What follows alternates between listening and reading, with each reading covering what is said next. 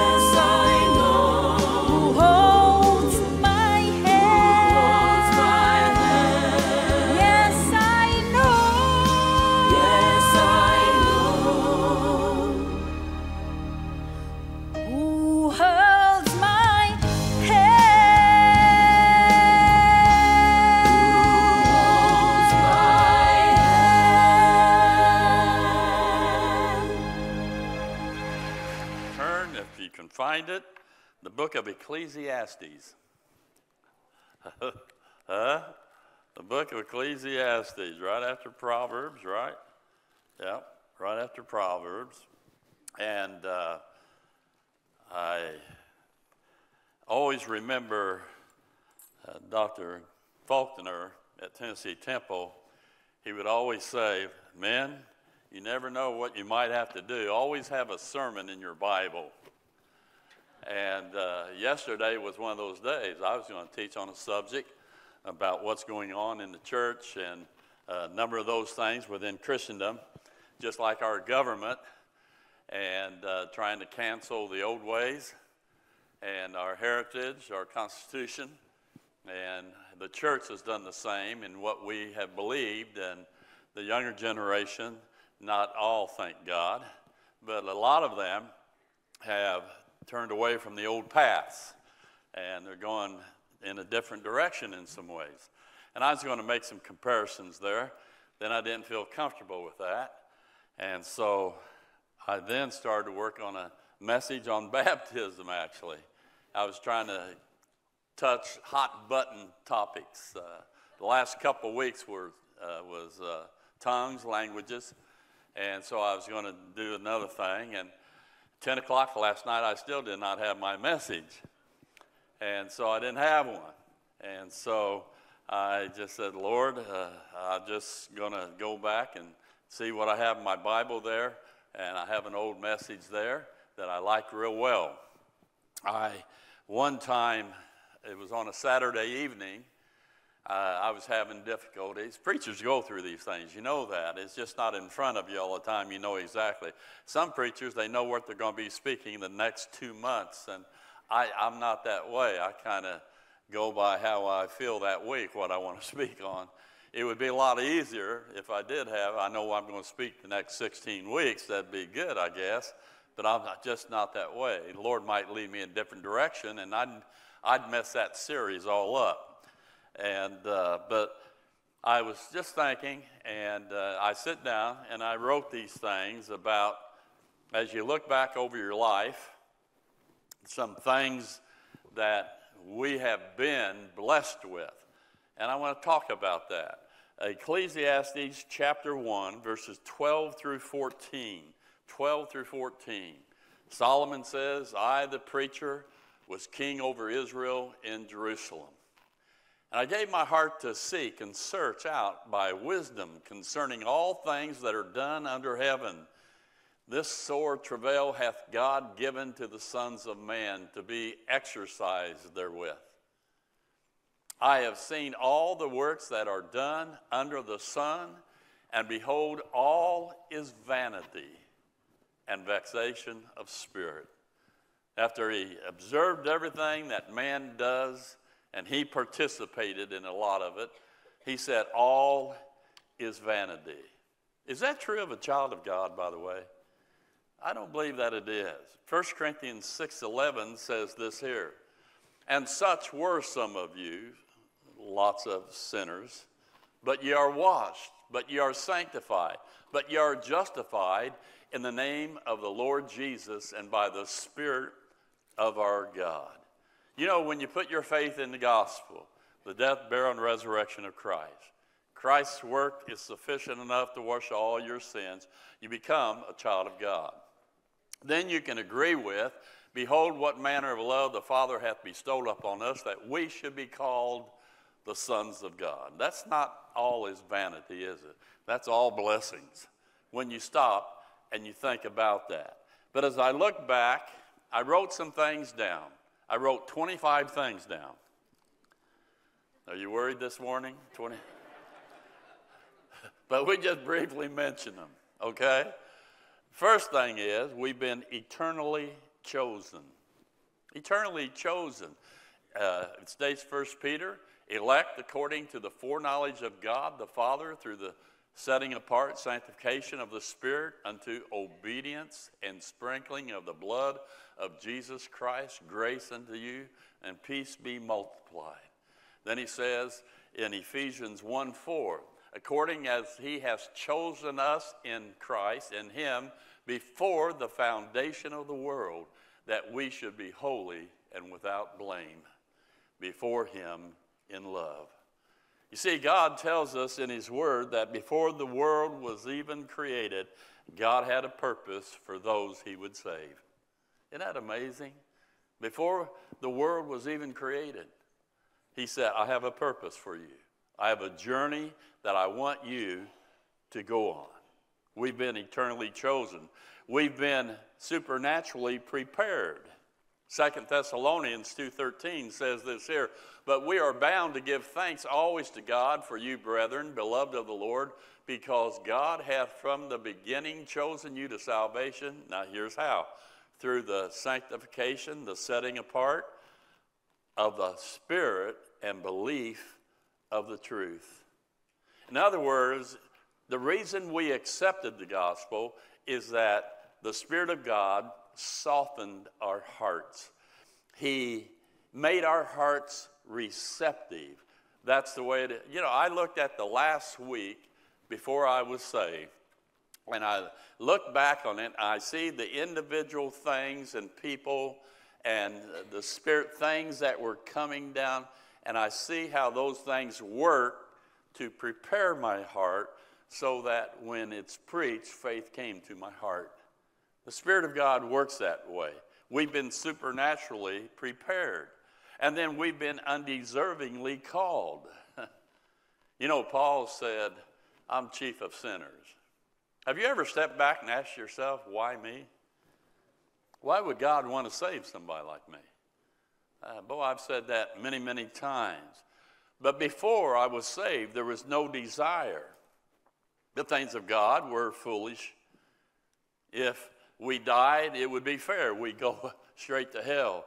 But he says this in Ephesians 4 There is one body, one spirit, even as ye are called in one hope of your calling.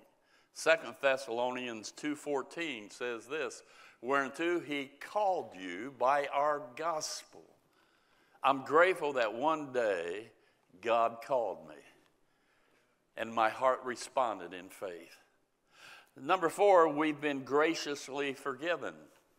We've been graciously forgiven. Colossians 1:14. I'm giving the guys a workout this morning. I hope you don't mind in whom we have redemption through his blood, even the forgiveness of sins. Chapter 2, verse 13 says this here And you being dead in your sins and uncircumcision of your flesh, hath he quickened together with him, having forgiven you how much? All your sin. All your past sins been forgiven, all your present sins been forgiven, and all your future sins been forgiven. All of your sin. You say, Boy, I have a hard time understanding that. I just accept it by faith, say, Thank you, Jesus. Amen. But much forgiven, much required. You know, when the Lord healed those 10 lepers, how many of them came back and thanked Him? One. I want to be that one. I hope more goes and says, God, thank you for saving me. But if nobody else goes, we, I have to, don't you? Then, not only that, we've been permanently accepted. Ephesians 1 6. To the praise of the glory of his grace, wherein he hath made us what? Accepted in the beloved. That means always highly favored in God's sight. Isn't that something? We're highly favored. Carol, you need to listen to that. Highly favor me. in life, A lot of times we're rejected. In life, we're abused by the world. Doesn't like believers today very much, does it? But also even by other believers. But we'll never be that with God. Then we've been bodily indwelt. Ephesians 1:13 says this, in whom ye also trusted Christ after that ye heard the word of truth, faith comes by hearing, the gospel, death, burial, resurrection of Christ, of your salvation, in whom also, after that you believed in the gospel of Christ, you were sealed with that Holy Spirit of promise. We have been bodily indwelt. 1 Corinthians 6 19 and 20 says, What know you not that your body is the temple of the Holy Ghost, which is in you, which you have of God, and you are not your own? For you are bought with a price. Therefore, glorify God in your body and in your spirit, which are God's. You know, Mary, she, she was so excited just the fact that uh, she had Jesus Christ inside of her. Uh, she was excited. God was in her in the person of Jesus Christ. She had that privilege for nine months. Do you know we have that privilege until we get to go to heaven? We have that treasure in earthen vessels, the Bible talks about. Amen. God in us, Christ in you, the hope of glory. Then we've been, number seven, family adopted. Ephesians 1 5 says this here being justified freely by his grace through the redemption that is in Christ Jesus. That's not the verse I wanted, but that's verse 30, fellas. Uh, I should have showed you that verse a while ago. Forgive me.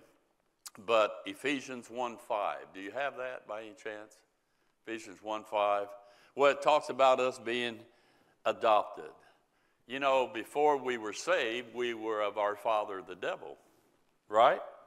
That's who our father was. And so, having predestinated us unto the adoption of children by Jesus Christ to himself.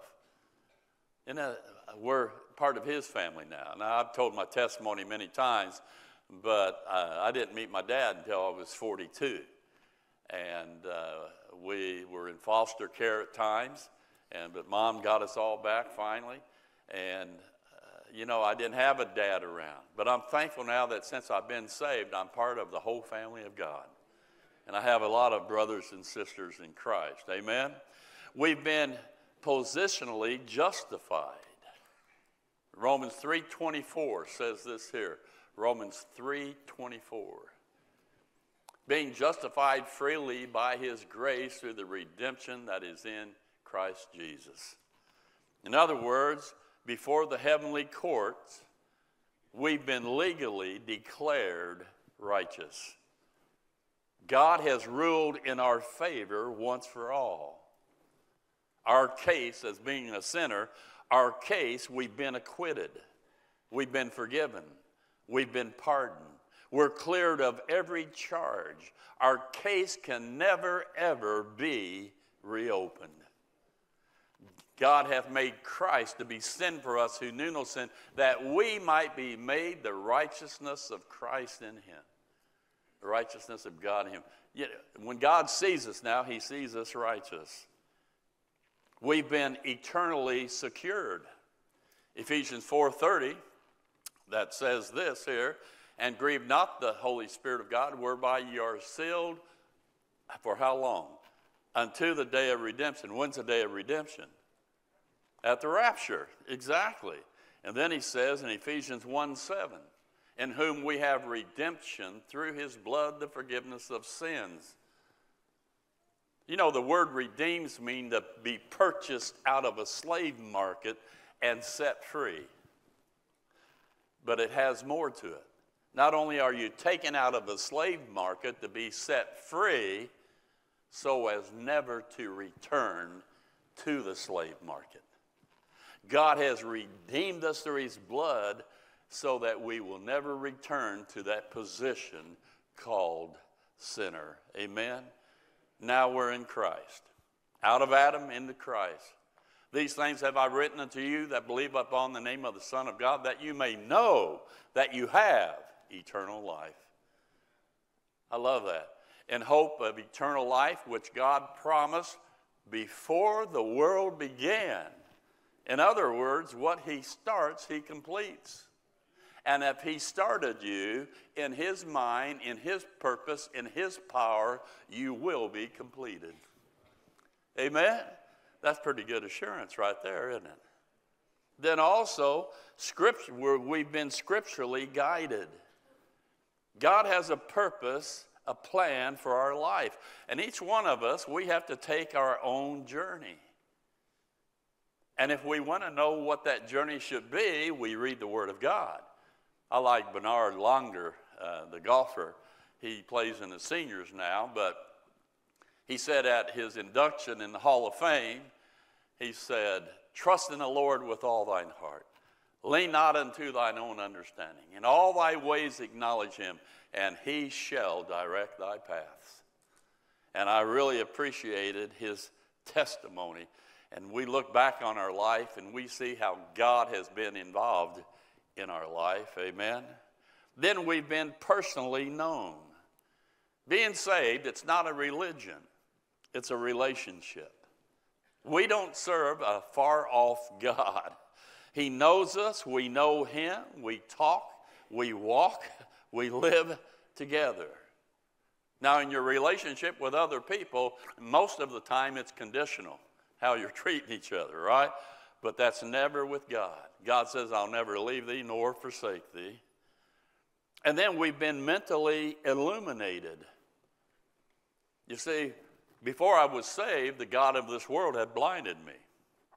Before I was saved, I was natural, and the things of God were foolishness unto me. But when God saved me, He made me spiritually alive.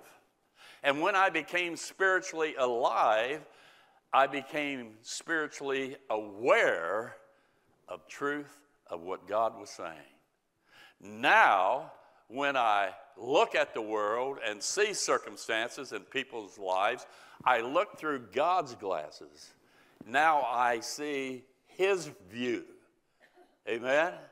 1 Corinthians chapter 2 verse 11 and 12 for what know for what man knoweth the things of man save the spirit of man which is in him? Even so the things of God knoweth no man but the spirit of God. Now we have received not the spirit of the world but the spirit which is of God. Why? That we might know the things that are freely given to us by God. Amen you see, the Spirit of God who lives inside of us, He helps illuminates, helps us to understand what God is trying to say to us. I've told you before, but I remember I used to, I went to counseling center, excuse me, went to a counseling center, Lafayette, Nouthetic Counseling, and I'm going to get like Stan. I don't think he kissed me.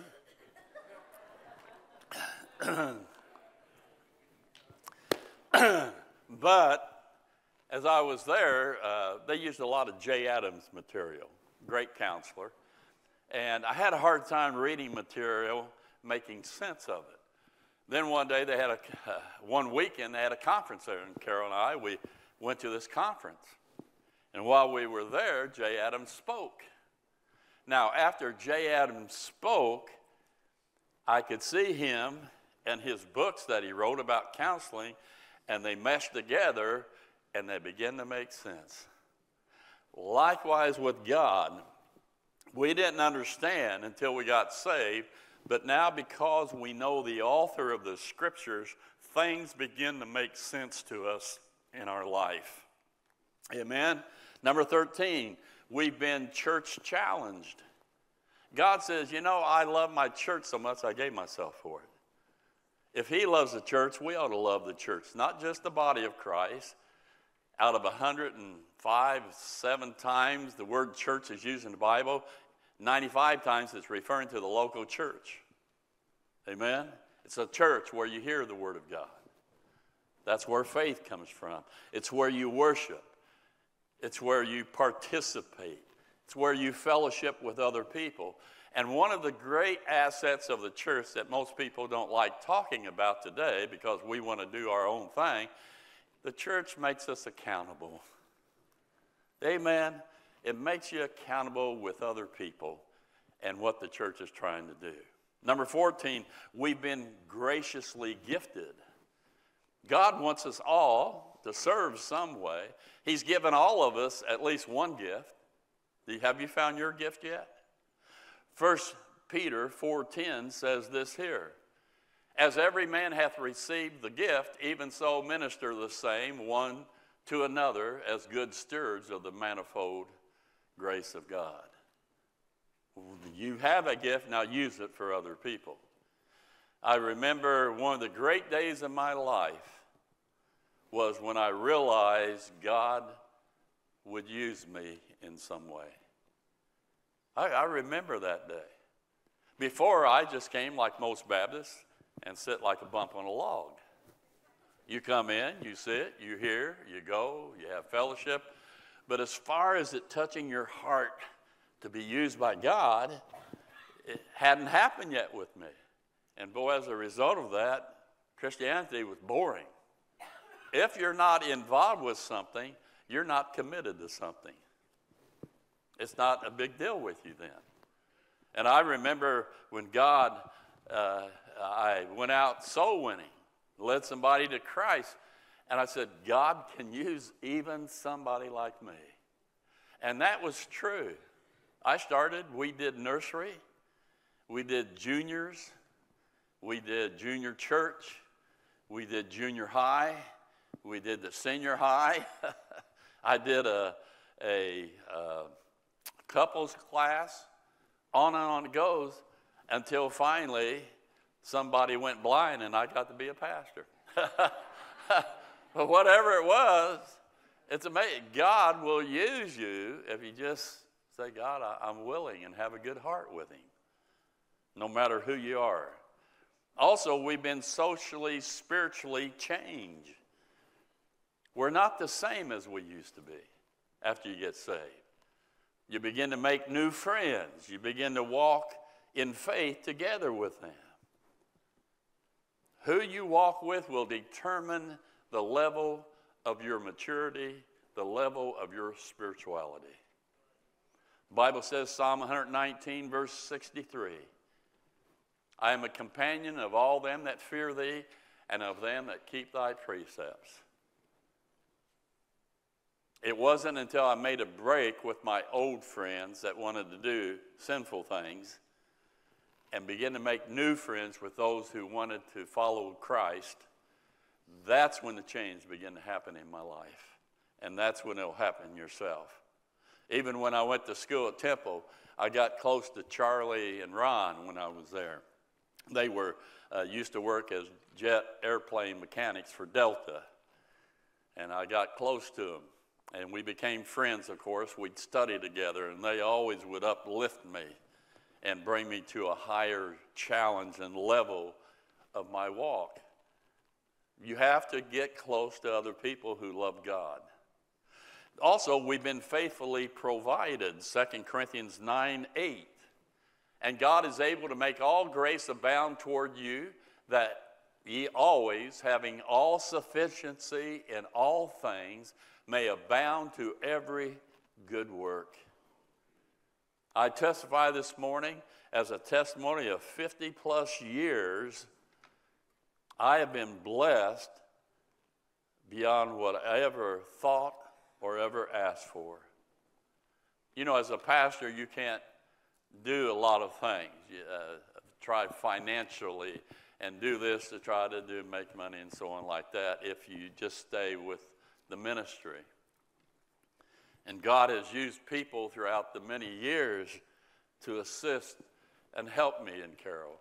And we've never taken it for granted. We're always grateful. But if it weren't for them, we wouldn't have anything that we have right now. But God used them to minister to us throughout the years so that we would have even more than enough. But if you want to give any more, that's okay. I don't mind. I'm kidding. We're daily confronted. And we shouldn't be surprised by that. Light reveals darkness, doesn't it?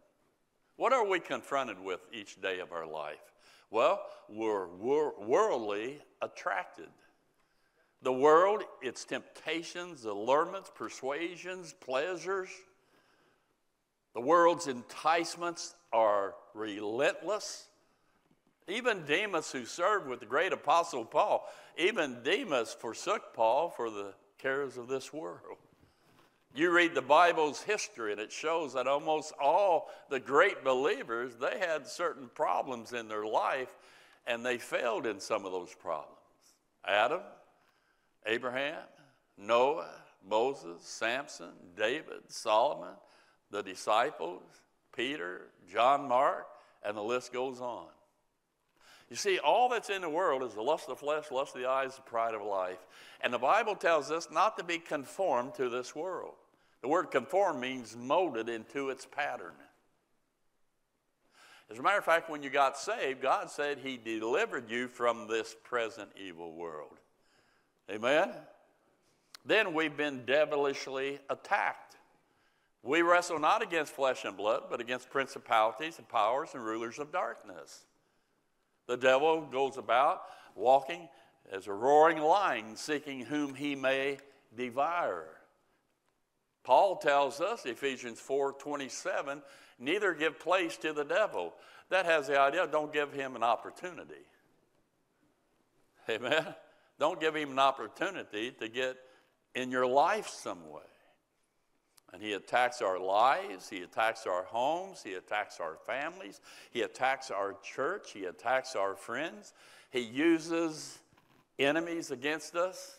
But let me say this anyone trying to live for God's glory, doing something for God, will have to battle because Satan doesn't want them to be successful. And then you start rightly dividing. On top of that, you got a battle. Amen? You have a battle. And then also notice, we're worldly attracted, we're devilish attacked, and we're fleshly tempted. The old man versus the new man. And at times it's tough. At times the flesh wins. You get so dejected and you're so discouraged. Why can't I have that victory like I should? The greatest foe I fight, the greatest enemy I fight is my flesh. And by the way, Paul said that in Romans chapter 7. Not only that, then, we've been spiritually empowered. If you walk in the Spirit, controlled by Him, you'll not fulfill the lust of the flesh. The good news is we can do all things through Christ who strengtheneth us. Philippians 2:13 then says this here. For it is God which worketh in you both to will and to do of his good pleasure. It's amazing how, when the time of temptation is there, if you look to God, there is a surge of godness, of strength, of power to be able to say no and do what is right.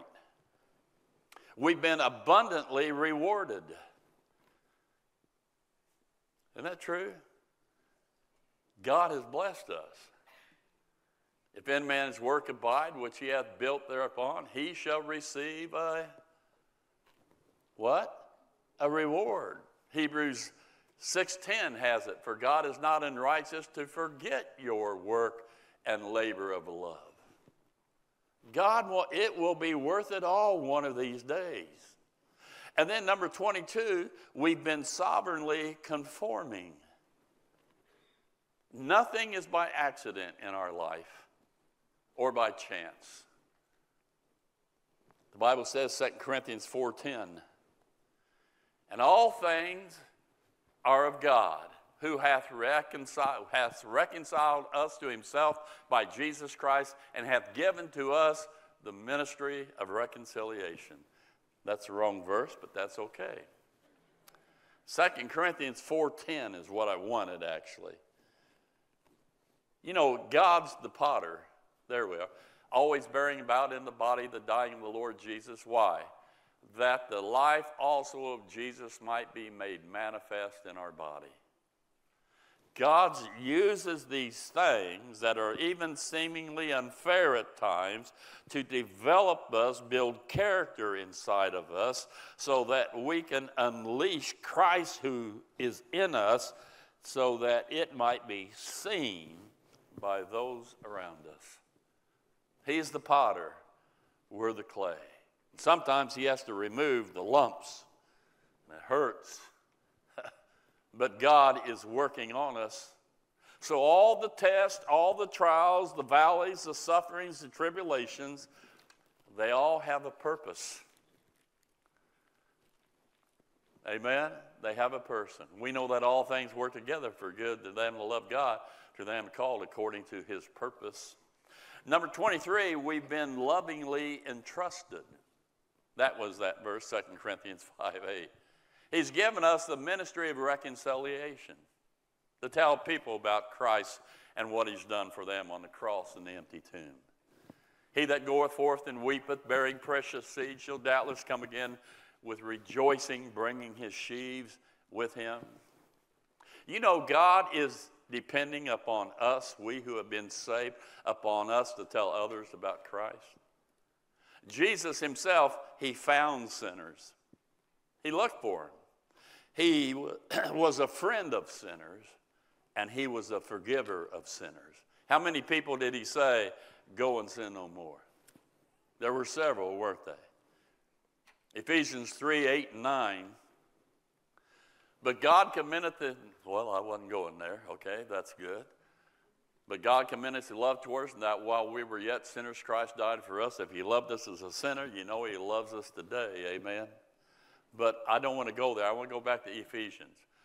Unto me, who am less than the least of all saints, is this grace given, that I should preach among the Gentiles the unsearchable riches of Christ, and to make all men see.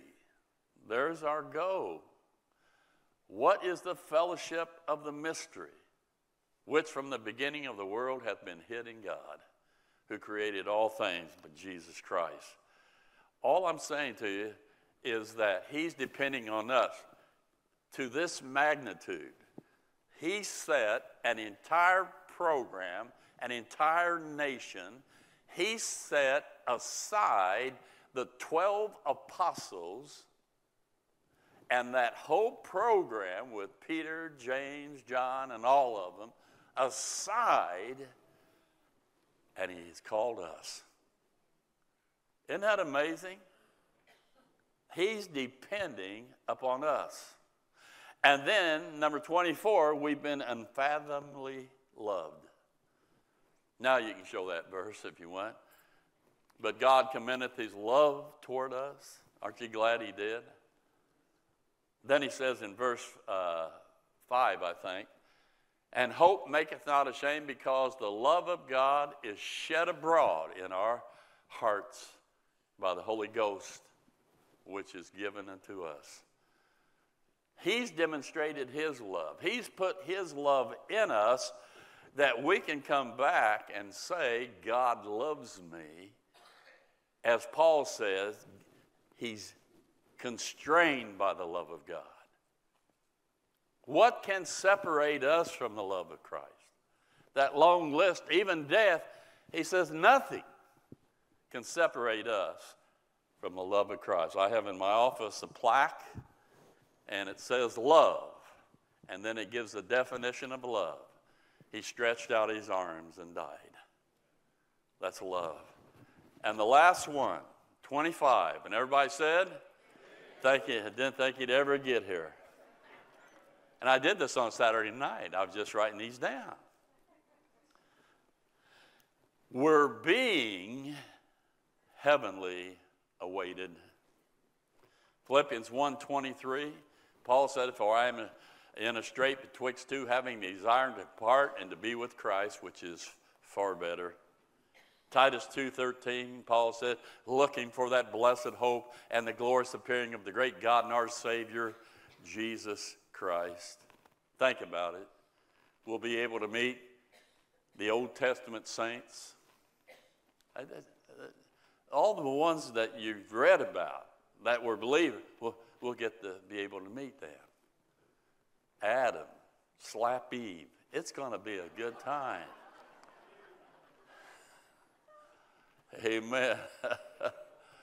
but the Old Testament saints, the New Testament saints, the angelic host, your loved ones who also have believed. But above all, you'll see Christ face to face. As we sing the song every now and then, I can only imagine. I can only imagine. Somebody said, What are you going to do when you see him? I didn't, I know what was. A lot of people say, well, I'm going to say this, well, I'm going to do what I, I think we'll fall flat on our face and cry out, holy, holy, holy. We who have been saved, we look back over our life. All is vanity? No, we say glory. Romans 8 31, 32 says this here. What shall we then say to these things? If God be for us, who can be against us? He that spared not his own son, but delivered him up for us all, how shall he not with him also freely give us all things? That's our relationship with God. And that's right now. So, can you imagine our future? Ephesians chapter 2, verse 5 and following says, Even when we were dead in sins, hath quickened us together with Christ. By grace are you saved. And hath raised us up together and made us sit together in heavenly places in Christ Jesus. That's our position. That in the ages to come he might show the exceeding riches of his grace and his kindness toward us through Christ Jesus. He said, You think this is something? You just wait until you get there. it's going to be something, and it's going to be kindness toward us. 1 Corinthians 2 9 says this here. But as it is written, eye hath not seen nor ear heard, neither have entered into the heart of man the things which God hath prepared for them that love him. Huh? It's going to be something. If you never ever received another good thing from God the rest of your life, He's given you more than you've ever deserved already. Amen? Amen. We don't like to hear that, but that's true. Even think about this. You've had the privilege of living in America. And not only living in America, you that are older, you had the privilege of living in an America that was like no other. It was amazing. We have had that privilege, but something that beats that is our gracious God having Him. There's old Job. He's been stripped of everything stripped of his family, stripped of his finances and wealth, stripped of his health. And he says in Job 10 12, Thou hast granted me life and favor, and thy visitation hath preserved my spirit. How in the world can you say something like that? We've been highly favored by God. We who have trusted Him. And if this morning you're here and you've never been saved, if your heart were to stop beating, where would you go? You see, that's why Christ came. Born of a virgin, lived a sinless life. On the cross, took yours and my payment for our sins. Shed his blood, died, they buried him, and three days later he rose from the grave to show that the Father had accepted his Son's sacrifice. The once for all sacrifice. Nothing else needs to be done. The only thing you need to do is believe that's enough for your sins. Amen. Christ died for you, was buried, and rose again. Who he is, he did that. Believe it. And if you believe that, you can be saved. And in your heart, however you want to do it, in your heart, just say, God, I believe. Thank you. I believe who you are and what you've done for me. And if you do that, God will save you. And if you do that, be sure to come up after the service. I have uh, some books here for people who just believe, and it'll help you in a new walk in Christ. Father, we love you. Thank you for simple truths, but yet profound truths that we just shared with the people. We have so much just by being in you. Jesus Christ is more than enough. In Christ, we are complete. So I just pray that this encouraged some people. They might be going through some things, and that they might stop and just focus on your goodness, your graciousness to their life. In Jesus' name. And everybody said, We hope you received a blessing from today's broadcast. We would love to have you visit with us in person. For more information, please visit our website at gpindy.net or contact us by phone at 317 535 3512. You can watch us live and view past services on our website, Facebook, or YouTube channel. Until next broadcast, may God richly bless you, is our prayer.